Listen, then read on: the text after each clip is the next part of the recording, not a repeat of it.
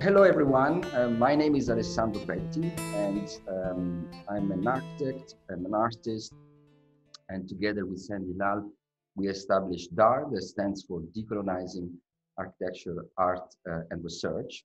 And um, our, our, projects are situated between art, architecture, and, um, and activism. And today we will talk more about uh, specifically one of the projects that's um, around the stateless heritage, that is an exhibition that is taking place here at the Mosaic Room.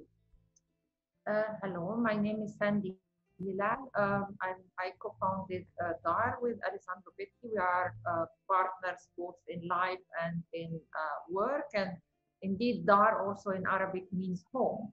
And since we began working together, we have been uh, always feeling as if the, the discussion that we are bringing sometimes is lacking in the public. You know, when we went back to Palestine and we wanted to understand what does it mean to link decolonization and architecture and decolonization and art, we felt that the only place where from where we can departure was our house and our living room. And indeed, we turned it into a place for conferences and we opened up a residency uh, for architects and artists. We, we turned our house into the place from where to begin to discuss uh, decolonization in Palestine. And, and since then, we have been always trying to find our ways around in which we create our own spaces in uh, through which we can uh, figure out what we have a lot of doubts about in uh, in our work. So uh, um, I think, yeah, I mean,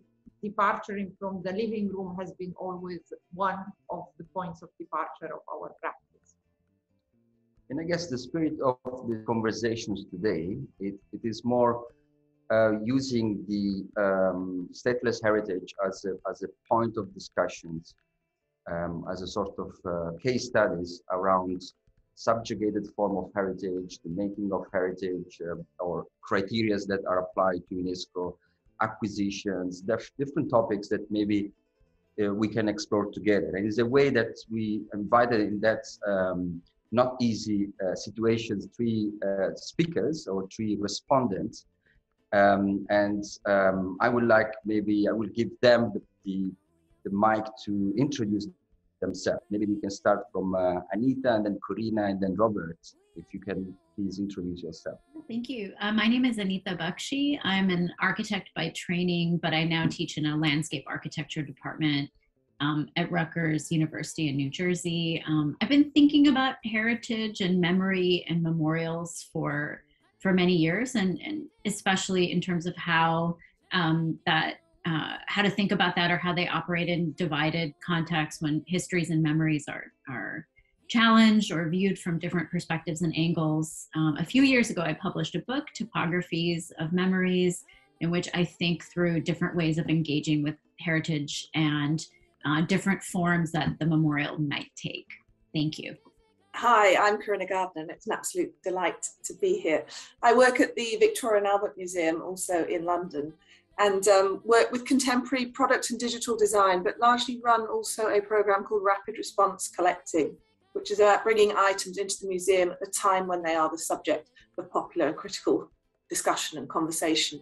Um, my work looks at an, an expansion of the definition of design, and we might translate that today to an expansion of the definition of heritage.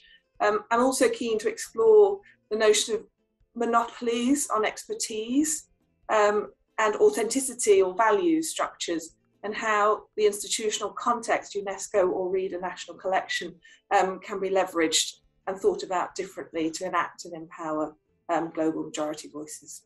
Hi, my name is Robert Mull. I'm an architect and an academic. Um, I hold academic posts in the UK, Sweden, and Turkey, and my research and teaching is around how issues of the informal and identity, identity maintained by displaced populations, can be understood and used as a way of questioning, I suppose, the formal orthodoxy of the humanitarian sector that is based so often on utility. Um, part of that is um, an educational initiative I helped found called the Global Free Unit, where we have live project classrooms in many, many contexts around the world, where students, participants, um, volunteers work together to do things that are useful. And we currently have classrooms that are dealing with issues of displacement in the UK on the south coast, in Colombia, um, and particularly in Turkey and Izmir. So I'm really here to discuss and explore how some of the tactics that I so admire um, in the exhibition might be operationalized together within some of the work that we do. Wonderful. Thank you for your uh, introduction. And um, maybe I would just also like to thank you for accepting um, to be part of these conversations and the Mosaic Rooms for organizing and the Architectural Foundation also for uh, broadcasting this um, uh, video and these discussions today. Um, and the spirit, as we said, to um, have rather conversations and a way to, to think together um, aspect of the project, but also how the specific approach that we use uh, in the World Heritage nomination dossier for the Dheisheh refugee camp and the 44 villages can be applied also uh, to different um, situations of uh, subjugated form of heritage or minority heritage.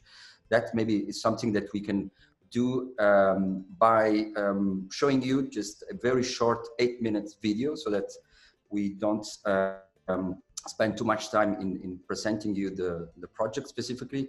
And we hope that that is a way to just enter directly into the conversations and give us a little bit more space then to go back and explain some of the aspect, but also hopefully in this eight minutes video also with some images, I think it might help um, to start to, to just start the conversation.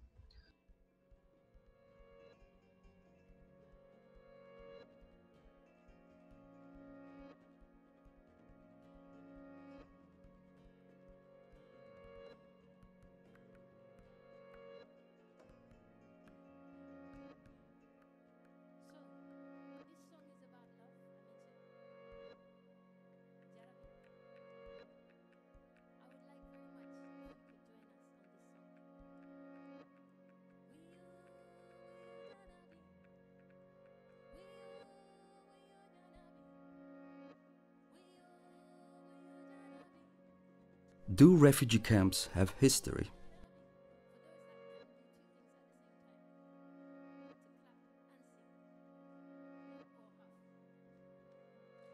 This was the fundamental question at the base of the nomination of the Dheisheh refugee camp as UNESCO World Heritage Site.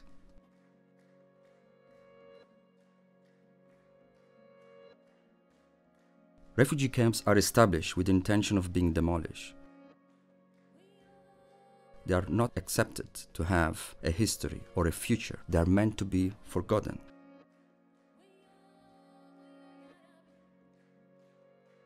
The history of refugee camps is constantly erased, dismissed by states, humanitarian organizations, international agencies, and even by refugee community themselves in fear that any acknowledgement of the present undermines their right of return.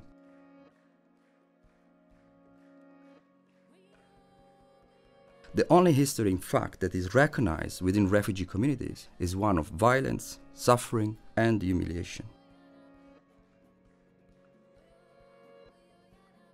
How then we understand the life and the culture that people built in camps, despite suffering and marginalization?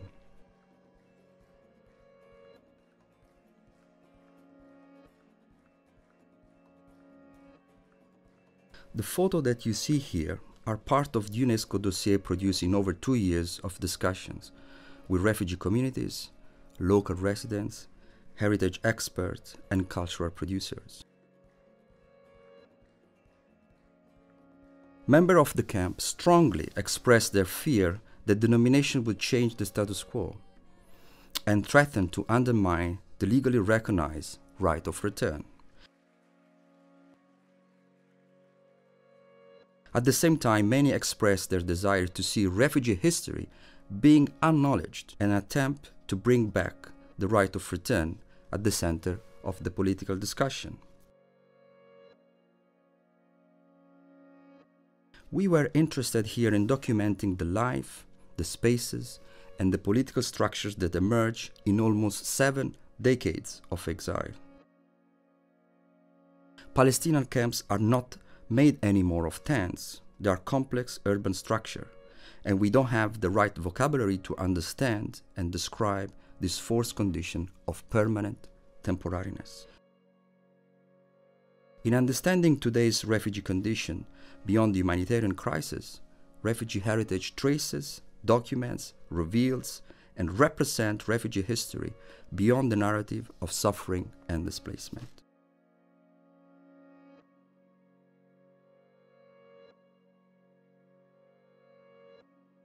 خلدة. قطرة. التينة. القسطينة. تل الترمس الفالوجة. عراق المنشية. القبيبة. الدوايمة بيت جبرين. بيت نتيف. علار. خربة التنور. راس أبو عمار. القبو. بيت عطاب. سفلة. بيت محسير. الشوع. عسلين. صرعة. عرطوف. دير رفات. دير الهوى. لفتة دير ياسين. عين كارم. المالحة.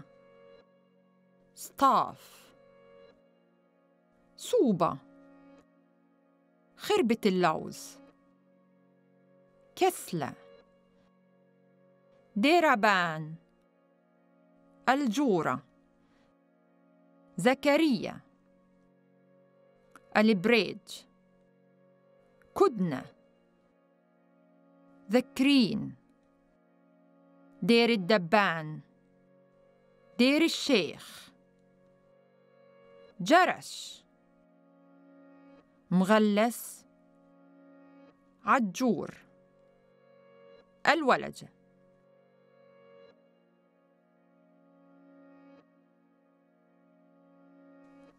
These are the names of the villages of origin of which Palestinians were expelled and now reside in the Dheisheh refugee camp.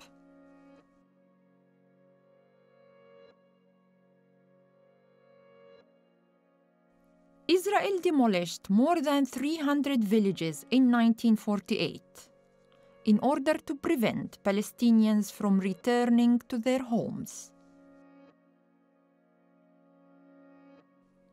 Today, only a few public buildings like schools, mosques, and cemeteries are standing as material evidence to the expulsion of the Palestinians.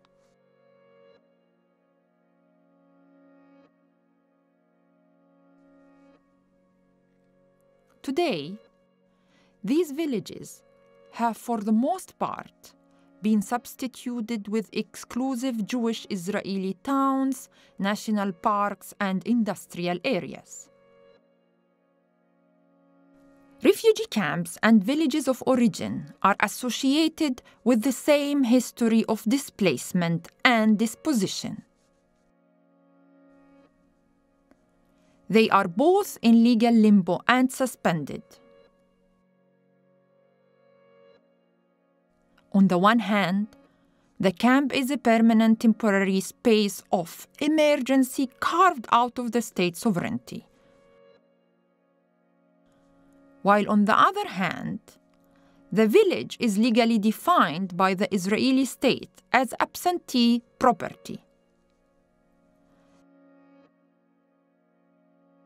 Despite their geographical separations, the two sites clearly have direct links and connections. Therefore, we see the possibility and the urgency of nominating the Dheisheh refugee camp and the 44 villages of origin as a serial transboundary World Heritage Site according to the UNESCO World Heritage Site criteria.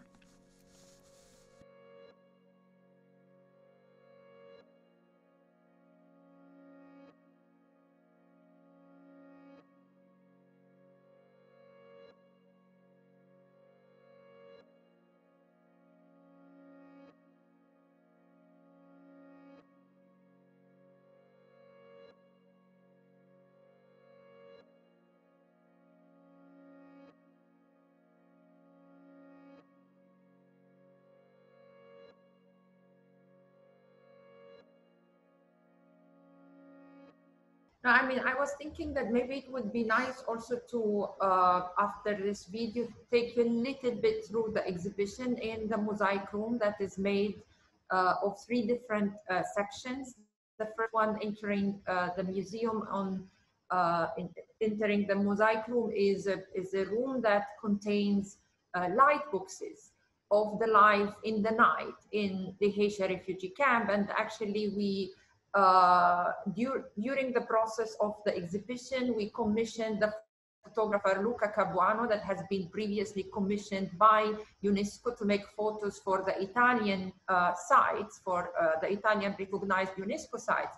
And we asked him to come to Dheisheh and make the photos in the same exact monumentality care that he used for the same Italian uh, uh, site, right? And then Luca Capuano came and in discussion together with him, we were explaining how sometimes we feel frustrated that camps are only photographed during the day with kids inside and in maybe the worst part of the of the camp as a way to show the miserable life refugees are living in and we have been always uh, feeling that the night in the camp has never been really captured the life in the camp during the night is not uh, uh, what what photos normally capture. So we encourage uh, Luca to make these photos in the night, and then the, the viewer will go through these light boxes and and actually go into the details of, of the camp in the night. And then on the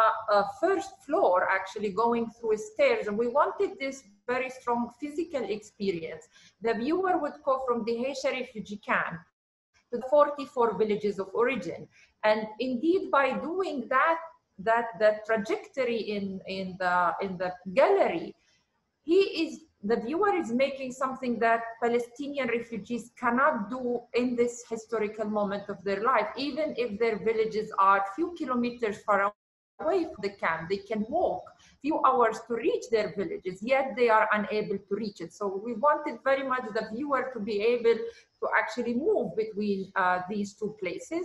And then we end up in this living room where we're sitting and where we decided actually to create a living room to host in London for the period of the exhibition uh, the, the, the, discussion around stateless heritage and, and how we understand today uh, heritage through the lenses of uh, seven millions of refugees and stateless people and people that also not only legally stateless, but the people that feel in this moment not represented by their state. So what kind of heritage we can uh, carry.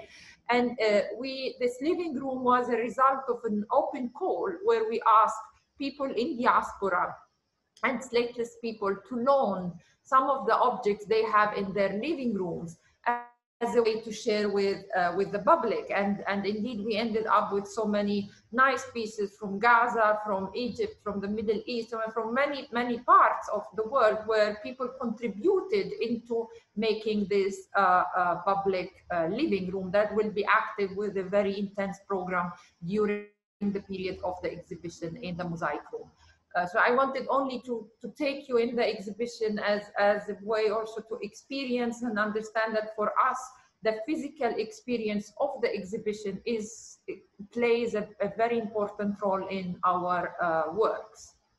Um, so thank you. Um, I'm interested in this idea of exhibition making and art as a political act or one of agency and action and indeed protest. And I wonder how you feel the voices of those that you represent who are in the camp and cannot leave the camp, how they feel and engage with the work that you do. That sense of the poly- polyphony of this process is something that I'm eager to understand more of, particularly as I think of the context of the institution and the museum. Yeah, actually, indeed, this is a, a very interesting uh, uh, point of the project because when we began to discuss, it wasn't our first project in the camp. We have been there for many years before arriving this. This is one of the last almost projects we did in, in the camp. We, at the beginning, we established a, a university in a refugee camp because we felt the need actually to begin to understand what is it that we are uh, witnessing and then it designed a concrete tent, tried to save some of the shelters that remains in the 50s and failed. And as a reaction to this, we arrived to a point where we thought about the nomination of UNESCO.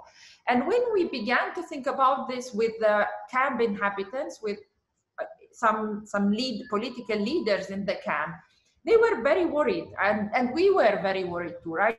Because it also, we did not understand how this has would have an implication on the camp and how can we understand the right of return in that sense? And at the beginning the first process we were speaking only about the camp but throughout the process then the 44 villages came out as a serial nomination. So we were all very worried. And indeed one of the things that we all agreed upon is that the best way to go through this project is by creating an art project out of it before everything.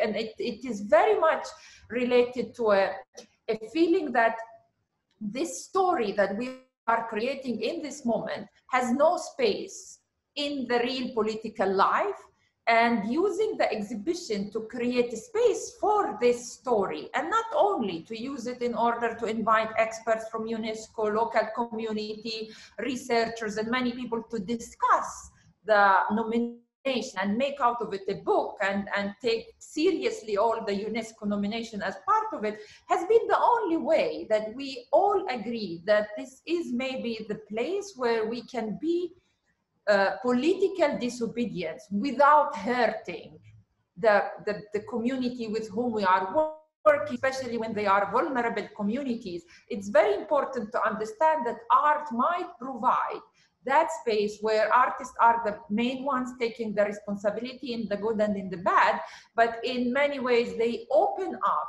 for a possible uh, uh, crack in the system where we can discuss what is impossible to be discussed in this historical and political moment we are living in.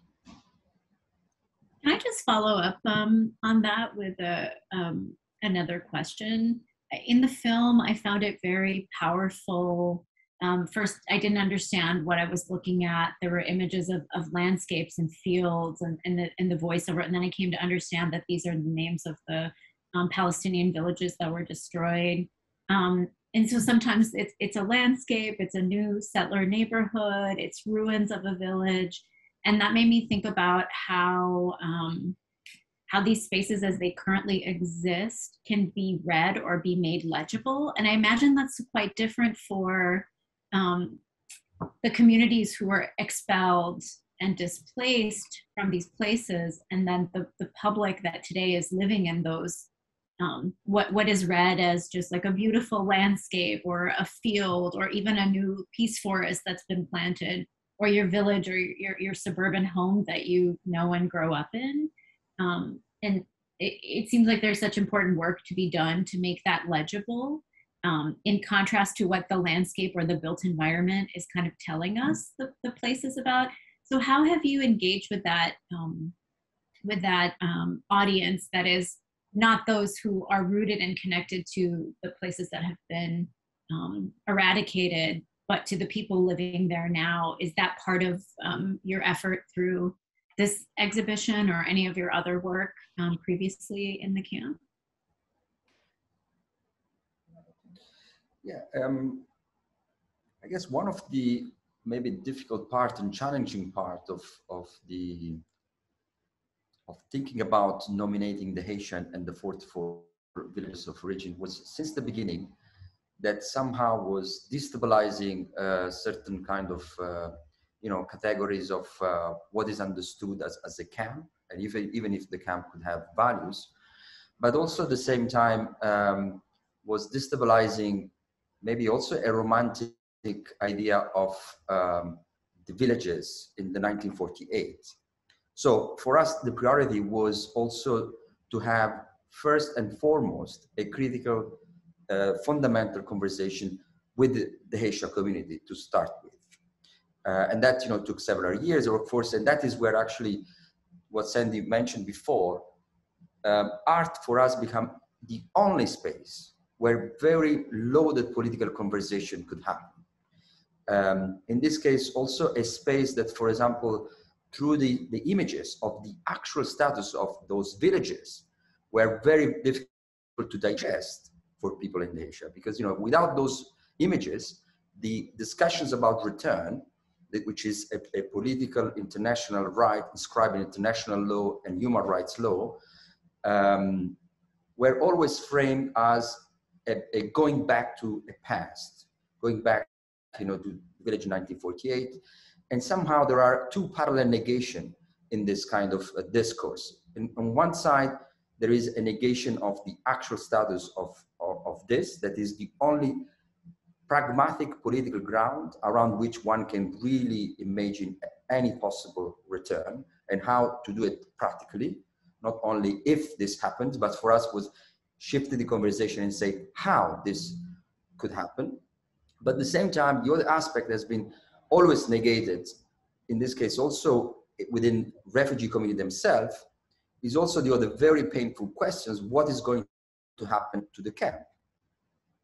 Because, you know, one of the things, of course, Palestinians recognized was always, of course, the uh, beginning of the Nakba in 1948 and the continuation of the Nakba because, you know, the demolitions is happening as, you know, is happening and the invasion and the destructions is it's not ended. So we are not talking about post-conflict situations. You know, we are still facing you know the same um, uh, the same thing. You know that demolished these houses in 1948. Now you know is in Gaza and in other places in Jerusalem, etc. So in this case was also to through through only a a fictional real condition of, of an art project, the community would be allowed to speculate, you know, to push certain kind of dominant understanding of how also to think about return. You know, so for us um, was was much more to to sparkle these very fundamental conversations that then become very much also about how how to think about return, how to think about in this maybe in the larger discourse of restitutions. For us was also thinking about the return also as a form of, of restitutions, you know, to this land. But in order to do that, we also wanted to be very uh, pragmatic um, to, to really look at the, at the true reality and try to understand that thinking about return without also thinking about not only the actual present state of this land, but also the condition of exile, you know, and asking these questions how you know the exile inform any possibility of return. Because of course what we many times in our difficult conversations what we do know and i think this now has been historically proven that if we think about return only within the frame of a nation state we will face always the same problem you know in which there will be constantly somehow at some point you know a minority of course that will be excluded and part of the people will be excluded. What for us I think is important in the project that open up also a different understanding where people actually they don't have to to, to decide if is it the camp the reality of the camp or the reality of 1948 but you know how you can belong to places at the same time. And that is actually what we hope that the, the most maybe important political dimension of the project is to push people to think how come we are not able to think today a political reality that allowed people to, to belong to more than one place at the same time. How come that we have to fix that into a nation state structure that is collapsing everywhere, that is continue to produce violence, it continues to pro produce civil war because it's inscribed, you know, in this idea of negating the rights of minorities. So for us, in a way, it's much more articulating that as, as, as a question that can only answer collectively what could be a political organization that doesn't prevent people you know to live for example in two places at the same time and thinking about return only as a returning back to, to an individual nation state based uh, and, and specific site that is most of the time very nostalgic and this were first and foremost conversations that were uh, within palestinian communities thank you i mean i i hadn't seen the section of of the ruined villages the demolished villages. And um, I suppose it was very powerful and interesting for me. I, have witnessed the sort of forced demolition of two camps, the, the Calais jungle, which was forcibly um, demolished. And in fact, when it was demolished, all of the civic buildings, the churches and schools were left in, in, a, in a gesture that's very reminiscent of, of, of the situation observed in your film. And more recently, the burning down of the Moria camp in Lesbos. And I suppose what what your film did so beautifully was to um, enter into this cycle of um, the creation of a camp of place and its demolition, and seem to point to the demolished villages as both a site of memorialization, but also as a very, very powerful question of what is future occupancy? What is the nature of the urbanism and architecture of resettlement or return or, in fact, um, integration? So I felt that sense of, of, of being drawn into an almost endless cycle really powerful in the way in which the film was um, presented and led to questions for me about the situation in, in, in Lesvos at the moment um, in a way that I think is very powerful. Yeah, I guess maybe one aspect that I think was interesting, Robert, um, that you brought up, that was a very important lesson also for us, is it when, especially when the camp are demolished, that then we realize in some way the values that actually the camp had. You know, before that moment, for example, the destruction of Nahar al-Bared was this very important moment, you know, in which people wanted to rebuild Nahar al-Bared, you know, that was incredible, powerful um, uh, community-based actions, you know, to rebuild Nahar al-Bared. And, and that will in some ways also shows, you know, that that are not simply any more uh, non-spaces or space without any values. And I think that's, in fact, in, in, in a small scale, as Sandi were anticipating, this project emerged also from uh, our attempt to preserve some of the first um, plots that contains in the camp shelters from the 50s, etc. And and in those that kind of process, at some point, the one of the member that extended large family member decided actually to demolish those and I think that sparked these conversations actually about um, the value of, of, of, of those buildings.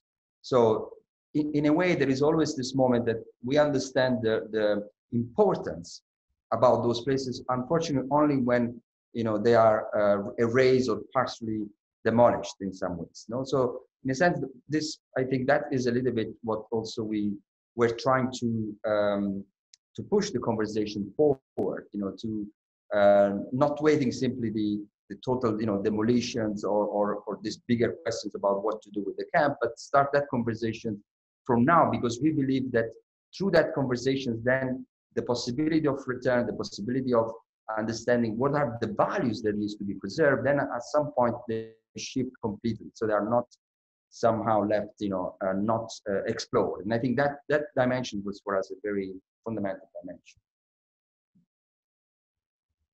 I think that's absolutely powerful because talking primarily as an architect, when you're faced with the, the prospect of what is the architecture and urbanism of the return, and I use that in every sense, or um, relocation to another temporary condition, where does one look to for an architecture and urbanism that carries the vitality and the horror of the temporary, but can actually utilize that to make a better environment. And I think within the um, architecture and, and um, qualities of the camp that your exhibition characterizes, one is defining a language. And, maybe in that sense, I would like actually to add um, one very important point. The return is, is most probably one of the words that is the most used in a place like Palestine, right? The right of return and the return and what return might um, ever mean.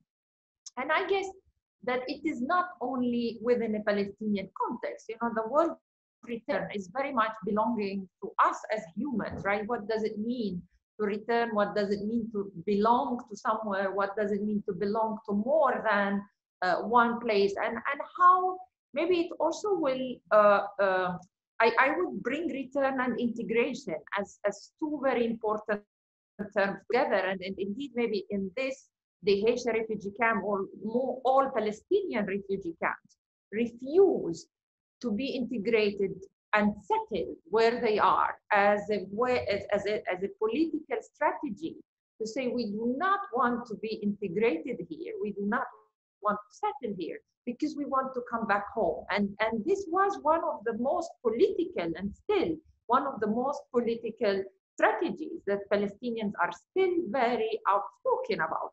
But, but I think that in that sense, it's very important to understand. Indeed, we, we believe that this project is not only about the Dheisheh refugee camp and the community in the Dheisheh refugee camp.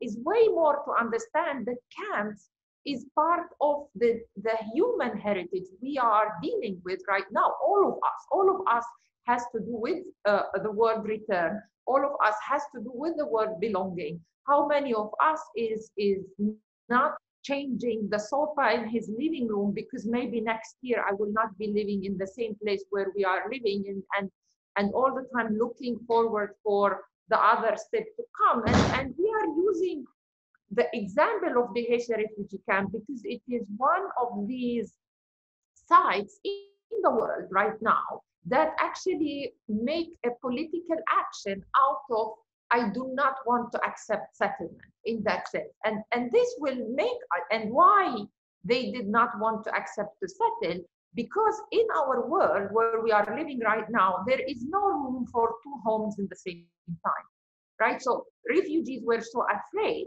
that then everybody would see that their home is the Dheisheh refugee camp and they refuse this home because they belong somewhere else. And this will oblige, this is in, in somehow is obliging us to understand what does it mean today? What kind of political scenarios, how can we understand the community today, not only specifically community in the sense of people living inside the Dheisheh refugee camp, but all of us is part of this community questioning how can we today think about possible ways where we can belong in more than a place simultaneously and where we are not obliged by our states to choose and therefore to actually delete part of one side of who we are because we have to belong in one specific place right? So i think that the Dheisheh is very much and the nomination is very much about bringing these concepts back there and revise them and think about them and, and learn from a community like the Dheisheh on how we understand a different, a different the failure actually of, of what happens in the Dheisheh should be for all of us a reason of why to think what is other alternative political scenarios. Yeah, thank you, um, Sandi, for ex- explaining it or, or, laying it out in that way. The possibility uh, uh, given to us in our world of of having two homes at once or belonging in one place. It just reminds me back to uh, taking back to the intro um, that you wrote to the book with your discussion of um, authenticity, and I felt just in what you were saying, there's an obsession with authenticity and also purity that one can only be um, of, of, of from one extraction or the other. Um, and I'm, I'm wondering how your uh, living room project is going to operate because I, I, agree there's a lot. Um, all communities and in a whole bunch of different situations have to pull from and draw from that. Um, you'd also mentioned in the text that um, maybe it's embodied in the living room project that this idea of this perpetual transformation um, can maybe pull us out of how we view um, sort of this very frozen and static sort of definition of authenticity. Um, I've written a little bit about heritage practices and, and, memorial practices sort of engaging in, in different registers through um, you know the importance of place but looking that through um, actions, performances, um, different community groups sort of coming together as a way in which the heritage of a place can be in, um, can have different meanings to like the community which is never a monolithic thing but it always has these different perspectives and how um, it can engage in ways that are meaningful to different ages within the community or different viewpoints um, different ways of seeing the same place is that how the the living room is is meant to operate? I know you said people are bringing objects from that are meaningful them for different places and you're having conversations there. Is that a way that you're trying to to to break through that that static definition of what's authentic? Uh, yeah I, I think that the living room is is uh, and i have i guess it has a uh, almost a very strong connection with this uh, whole idea of authenticity because it also questions very much who is the guest and who is the host in that particular moment, right? And in, indeed, what what we bringing the Dheisheh refugee camp back to the West, especially because we moved our bodies to Sweden at a certain point, and we realized that in in somehow what is taken by refugees the moment they arrive to a place like Europe is their right to be host, and they are required always to be guests. Something that the Dheisheh has been carrying a lot is like because if I would become a host, then I forgot my I am I'm not anymore a guest in that place. And because this whole notion of integration is that you should behave as a guest, you should stay always as a guest because your home is somewhere else. This was exactly the impossibility of having two homes. So the living room project is demanding the right to be a host and in, indeed says that as humans we need both to move constantly between being hosts and guests. Otherwise if we are imagining and perceiving ourselves only as hosts we have a very strong colonial mind means that we want only to be followed. And if we are we accept our best only as the guest means that we accept the oppression that that home is somewhere else and we should always behave as guests. And and you know in all cultures among them in the arab world is you are guest, you are respected guest for three days. After that, you are not respected anymore because in, in some house in, in the Arab world, we say you begin to be a you know, people host you because they have pettiness for you because they are um, they feel sorry about you and not because there is a mutual respect. And from the fourth day you become a neighbor right? And and you stop to be only a guest. And i believe that in europe with the whole colonial framework, this guest has been brought forever as a way to maintain dominance in, in, in, in who is hosting, both in private and in public, right? So I think that the living room in, in this exhibition wants to a little bit challenge who is hosting whom and who are the organizations that has the right to host uh, uh, discussion on heritage or less discussion on heritage. And the moment that we claim ourselves as hosts of this discussion in a place like London, it is a little bit challenging the public institutions, the public space, and the public notion around heritage. Because what we say is that we self-elected ourselves as public hosts, right? And and we open up the living room and we demand to be hosting this discussion in uh, in uh, and we are inviting people to come in and not not only us by the way because each sunday the living room would be hosted by uh, Omar Hidat from the Dheisheh refugee camp that found himself doing a master in London. He wants to stay further. He has been collaborating with us in the project and he is opening the public living room and, and have a, a Sunday connection every day, every Sunday with the Dheisheh refugee camp, open it to the public to be part of it and to be I guess it is one of these ways not to be passively proposing certain ideas, but to activate them constantly. And this is where, where I say, you know, we create the story, yes, and we maybe challenge the frame, yes, but we also pretend to activate our own story, right? It's not only to tell them, not only to, uh, you know, um, have the, the, the storytelling side, but also the story activating side for us become extremely important because it is where we feel agent, where we feel empowered to change, where we feel the art can shift certain things and, and as if we are inhabiting, we decide to inhabit our own stories as, as a matter of fact. And and maybe to return back to the authenticity part, I think that it also the, in the same way clashes with the idea of having more than a home simultaneously because when you are required to be authentic, this is a very specific requirement to choose one home and to prove even that you are part of that one home, right? So I think that it should make all of us think what does it mean how not to be guests forever and and how not to obey to certain frameworks and even and and but never to give up with these frames because i think this there in in there where the struggle is taking place so to demand to be a host is to meet, to demand to be in that frame, but to change it, right? So in, in many ways, I think there is this very strong aspect in our practice that we believe it is at the core of how we understand art today. I'm fascinated by this notion of the demand of the project. I think it's a really welcome provocation. And clearly, one of those is with this desire for recognition of a particular status within the frameworks of UNESCO. And that is being enacted. But I'm interested to think about these other possible story endings or beginnings that you talk about.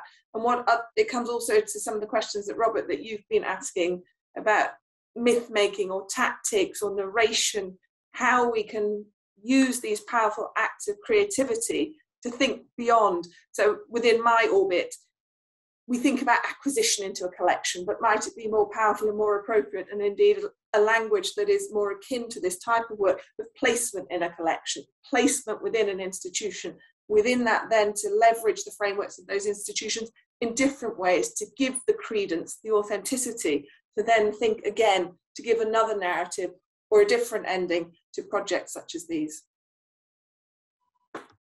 Yeah, I guess for us, one striking moment, you know, when in our conversations, it was now about seven years ago, we we started to think, what if the Dheisheh, you know, become like World Heritage Site and get recognized as something has value? I think what we witnessed, it was the the urgency, you know, of of recognizing something that has been dismissed by everyone is dismissed, you know, by nation states, it's dismissed by NGOs, it's dismissed by even the community itself. Because in the moment that you recognize that reality, you know, will undermine maybe the possibility of the right of return. And NGO working, for example, in, in refugee camps, you know, and, and, and most of the participants of campus camps that, for example, were taking, you know, people in this tour in the camp, they realize how much they could only frame their life as a life of a misery. Now imagine someone that you know was you are born in that conditions, and this is the only reality that you know, and and even that the people want to support you, you the only thing that is given to you is to simply somehow reaffirm that sort of uh, reality.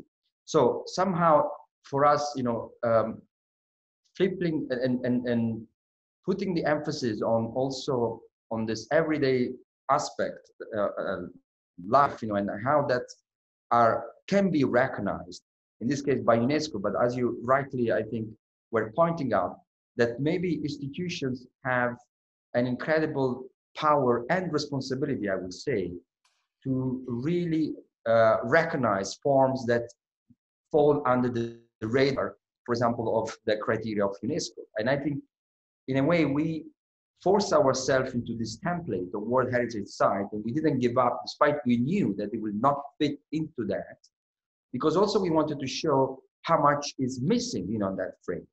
So by accepting that template was was for us, you know, do two things at the same time. One, on one side, was to destabilize the dominant category of what constitute heritage and how much we have to challenge, you know, this Western notion of heritage but also was important for us to shift the conversation of what is the camp? And if and if a camp is only a place of misery or could be actually recognized as, as a container of um, of values. And what are those those values? You know what are the form of life and and and the practices that in a way need need to be uh, need to be preserved?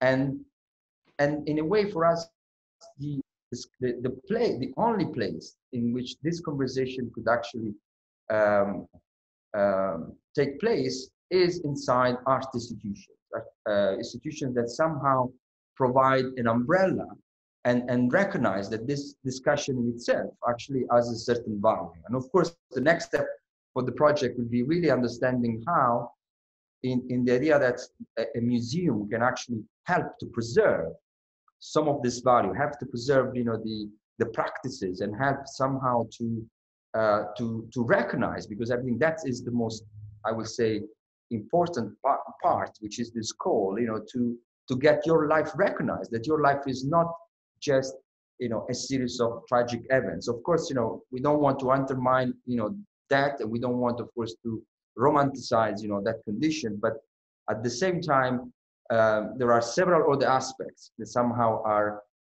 um, are hidden, you know, or somehow are not discussed, but also importantly, how this open up also um, enforce maybe a museum to think about what is the task of a museum if, if it's not that of preserving those stories, these incredible stories that somehow otherwise will get lost. And therefore, the museum is forced to reinvent, as we did a little bit with the category of UNESCO, you know, what does it mean um, acquiring, collecting, placing, helping to reactivate those stories so that those stories, you know, would not get lost. Um, and I think that that and especially because these are all specific events in history that have their kind of temporary moment. We have the you know refugee crisis, and then you know one wave after the other, and this story somehow and what is produced um, most of the time is lost. So that is definitely something that we would be very much interested in, in understanding how we can share that responsibility. Because we as as artists architects and researchers i think we we put ourselves together with the community somehow to start that. But many times in this process we are left alone. And we would like to think that this is where actually institutions can step in and take the responsibility to think how to preserve those stories how to preserve you know what um, was understood as something that had values. I think it's what's really interesting about the conversation and, and Corinna, what you're doing is that actually we're talking here about artifacts, we are talking about objects. We're not talking about music or culture or, or film. We're talking about uh, taking artifacts of different situations into a, into a collection. And I, I just wonder I mean, mindful of the sort of story around the Blue House, which never managed to make it into your collection. Um, just what you feel in relation to this conversation, the the potential of validating or giving artifacts the status of being equal partners to something taken from Pompeii or Paestum or uh, William Morris House, and, and what the what the intention is there because I think it's really interesting to understand that. And I suppose to be certain that it's not a, they are not curiosities within that cultural um, panoply, that they're actually equal partners to those objects. It's a very big question um, and an interesting one. I suppose there's this idea of equal status, the contemporary in many ways within institutions such as the V&A, so very often has to compete and hold its value with that of the historic object where the passage of time has affirmed or disaffirmed its value.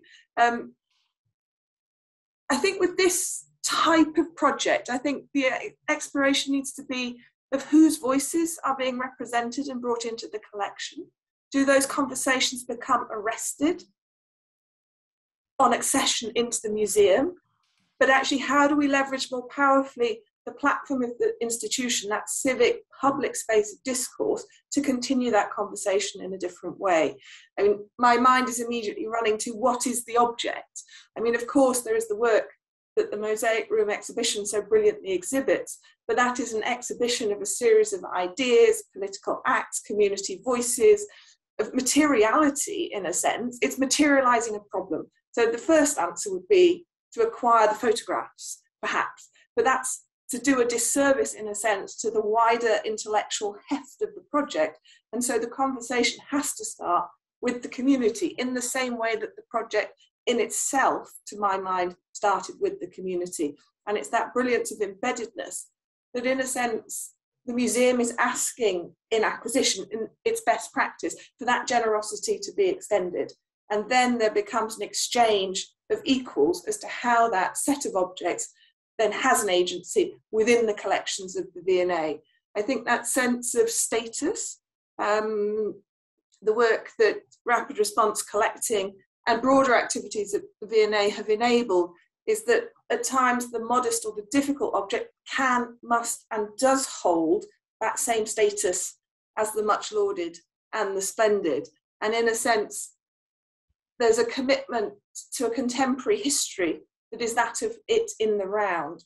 And I think that is potentially a shift in museum practice, but also the broader understanding of value and culture and heritage as we're talking about it today that sits in society broadly one that in which we are operating. And we as museums and curators, indeed as architects and creative practitioners, are part of that same flux or context. Well, that, that is a fascinating conversation for us in a way because it also relates to um, a moment in which we were discussing um, if this should be nominated um, according to criteria that emphasis on, on the material or immaterial aspects. And so the emphasis in all these discussions, you know, and and of course, in that discussions, I think many um, were saying how much in the Western understanding of of heritage, which is mainly the, the material aspects, and, and only more recently the material aspect, especially of non-Western culture, was also creating a sort of second category, you know, so that somehow Western objects can maintain, you know, their kind of materiality and superiority, and then the material become somehow maybe a, a place where to locate all, all, the things that they will not have necessarily the, the, the, material expression. So in that case of the Dheisheh, we actually insisted that we wanted to have both. I mean, first, because we um, um, we believe that in thinking about the camps, you know, in a way, one also has to accept how this uh, distinction of material and material needs to be put into question, right? I mean, that's that could be something that, um, without of course negating that sometimes there might be certain materiality that actually help to uh, uh, to connect or help to have uh, something that look like somehow immaterial, but also somehow not to fall in, into that trap of typical museum of collecting objects. And that I, I definitely could be for us, you know, one of the the problem that somehow everything then is reduced to um, uh, to only somehow the installations and the objects. I think that was for us always a sort of um, excuse to gather things around, but for us would be very important to think how uh, we preserve certain characteristic that we for example, in the nomination, like the how the camp in itself is the place at the moment where you can experience you have an experience of going back to the 1948 in which somehow the, the camp itself is made by the different um, community that by being together they preserve you know a certain understanding and a certain of practice for example of commoning that actually they don't exist anymore in other places. So the question would be for institutions you know how i preserve that how we preserve you know this this al-masha which is this how the people understand the camp not made by public and private property because as you know refugees even though they build their own houses they cannot own these houses legally. At the same time the streets of the camp they are not public. So when an institution approach you know this in terms of preservations and acquiring also this category suddenly collapse and that is i, I like it when Corinna was making this more in terms of exchange.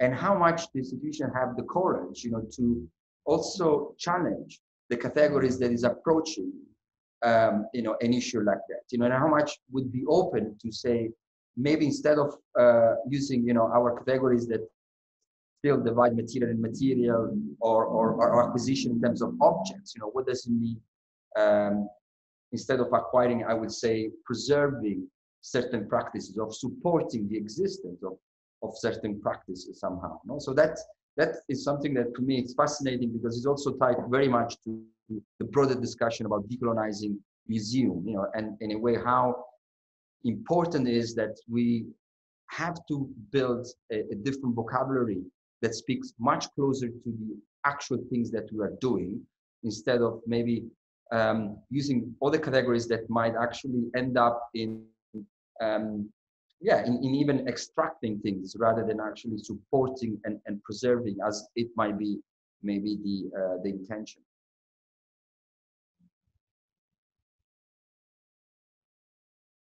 Yes, indeed. And that challenge of the category, or I mean, the museum has a history that predates UNESCO by some, and its kind of value and power structures are also those that in the contemporary we must wrestle with and challenge. And it's exactly this type of project that brings some of those questions to the fore.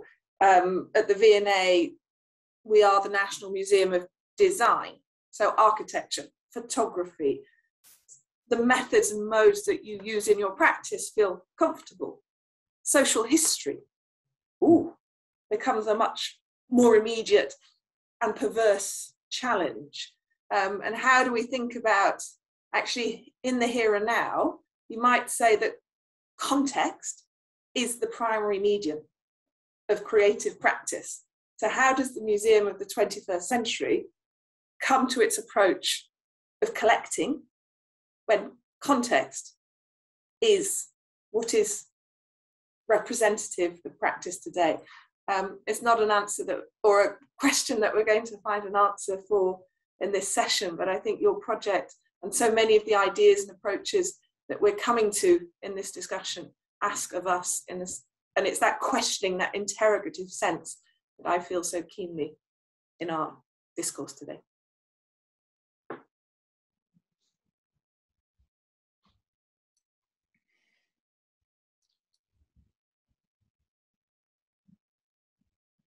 I mean, I'm just thinking about another category of people we work with, um, and it is um, just like you to comment on it, whether the situation changes in terms of this discourse. If one's working with active and purposeful migrants as opposed to those who are refugees by virtue of displacement, and how the attitude towards the sense of heritage and the preservation of heritage changes in relation to active migration.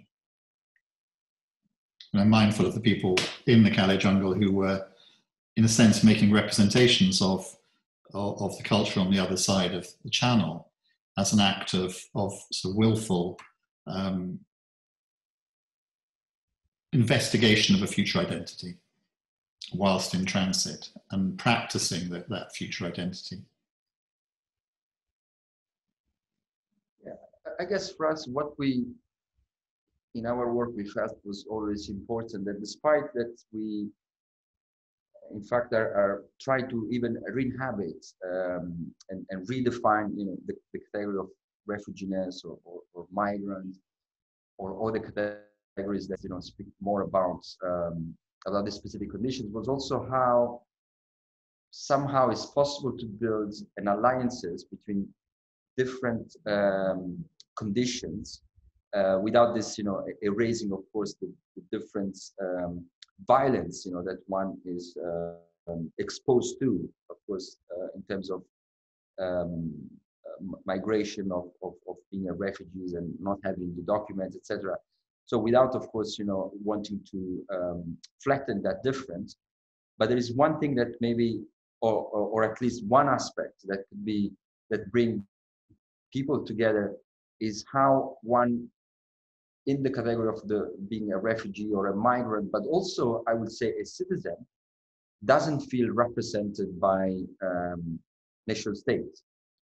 Um, so I think that is something that, for example, could bring also, um, you know, someone that that uh, is is a citizen and enjoy you know certain rights and enjoying certain uh, certain conditions.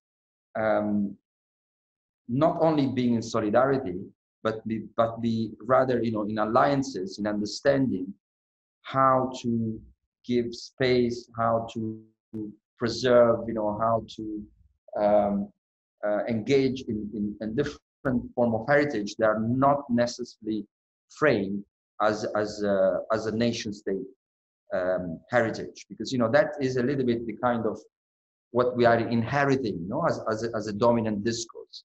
That at the end, all different all the different forms always are under and fall you know under the radar because somehow the category itself are built you know in order to highlight a certain kind of uh, you know national understanding of what constitute uh, uh, constitute heritage so that is for me also an important um, work that that in a way how we we can also engage with with people that can enjoy right as a citizen, but and that would be, for example, you know, my case, having an, an Italian passport and enjoying, you know, certain freedom, but at the same time, you know, not feeling fully represented by uh, by the nation state. That is the alliance that also brought me to be interested so much in in refugee camps because that where the crack that I felt where through which one can really understand what comes after or thinking uh, beyond the idea of nation state and what needs to you know what needs to happen in order to to have thinking and practicing that goes a little bit beyond that. So that's something that i hope that in in some of the projects can actually do is creating this sort of alliances. So what what is your what is your response to to those initiatives and projects you know refugee nation the refugee the olympic refugee team and so on the appropriation of ideas of the nation state, but for a, dis, a global displaced population? I guess we have been in, some of our meetings. Um, we have been, um, you know, asking this question: Should be who has the right, for example, to use this uh, now nomination dossier that we draft? Who has the right to put it forward? Is it the Palestinian Authority, and therefore we are back, you know, into a, a sort of nation state? But of course, the 44 villages are today inside Israel, and, and the camp itself is a space which is carved out from state sovereignty. So definitely it might not be that. Or is it maybe the, the, the stateless nation of now about 60 million of people that actually are under that category that can actually take this and demand that this is one of the several things that needs to be recognized because this condition of statelessness is actually increasing even more no? However, one of the fear that we have that we don't want to necessarily just simply mirror, you know, this, sort of UN structure or UN nation state categories, you know, that then we end up in somehow of building, you know, a, a category of stateless nations, and this maybe could somehow, um, you know, solve. But it's rather again doing always this double work, which is by bringing these questions we really hope to shake a little bit, you know, the what seems a little solid and unchangeable which is uh, which is the category themselves. No, so we always go back to this kind of uh, struggling that we did when we used the template, and we didn't give up with that idea because you know we felt that that is necessary to work within and and, and against the structure itself. That was the very difficult work that I guess we we need to do. So because it's not easy to say, ah, let's imagine what comes after that, you know, in terms of nation state, but it's rather how within the actual structure of, of the present we can actually operate and, and, and try to experiment forms that can bring us you know um, beyond this, this very uh, categories that we are still uh, forcing to use and then working much more as we already started in a modest form in our conversations questioning some of the vocabulary and the words that we use because we bring on uh, you know certain definition that implies certain practices. So one fundamental work should be also how we create a vocabulary that somehow open up, um, you know, a different understanding. And indeed, I want to add one one very major point, I guess, for for me is is how the use of identity politics today is not mirroring a very very colonial framework, right? And and we just look at each other's color and accept this as a matter of fact because for me this is simply mirroring a very colonial way of doing you know we should absolutely acknowledge and recognize dominant power structures but in that sense instead of simply uh, um, to, I mean, simply accepting that this is what is it and, and become sort of uh, pointing at each other colors, how is it ever possible to create other conditions where it is possible to join the struggle for all of whoever would like to join the struggle, right? I mean, in, in that sense, a lot of time I say I born Palestinians and, and have been trying to decolonize myself all the time, but I guess it's not right that decolonize that first we have been colonized and then we are asked the task to decolonize the world, right? I think that decolonization should be a task for everyone of us no matter which kind of color we comes from. And I think that the possibility to create platforms where it is possible not to be pointed at only through from which is the community, are you from Dheisheh or aren't you from Dheisheh? is I think that the right of return in that sense is belonging to everybody in this world that believe in justice, right? In, in that sense, it's very important to understand who is the community that wants to come in and create a struggle in order for uh, uh, uh, the right of return to become a reality, to become back on the, and not to say, no, this is the task that the Dheisheh refugee camp needs to do, right? Because it's first we exile them, and then we ask them to take the, the most difficult task of the right of return, right? So for me, it, it becomes way more clear that the community is not about a geographical sort of area, right? If we will return back there, it's again, we are collapsing again and again into the need to choose one home, into the need to say we are not from both places, into the need of deciding who is the state we belong to. But rather than, is there a possibility of thinking today a counter strategy against uh, um, a dominant framework where we use other tactics, right? Where we uh, uh, being inclusive for many people that indeed wants to change this framework, right? In, in which way we are able to create a broader community for us becomes at the base of, indeed we created what we called a common assembly where we invited so many people to be part of, of this dossier and to endorse this dossier. And, and they are from not only from, of course, there are people from the Dheisheh refugee camp, but way broader Palestinian diaspora, the rest of the world diaspora, people that are not willing to accept the state heritage as the only heritage of the world. I mean, we have just a vast community, and this is maybe the alliances we speak about all the time. Is it possible to think the community in a broader way,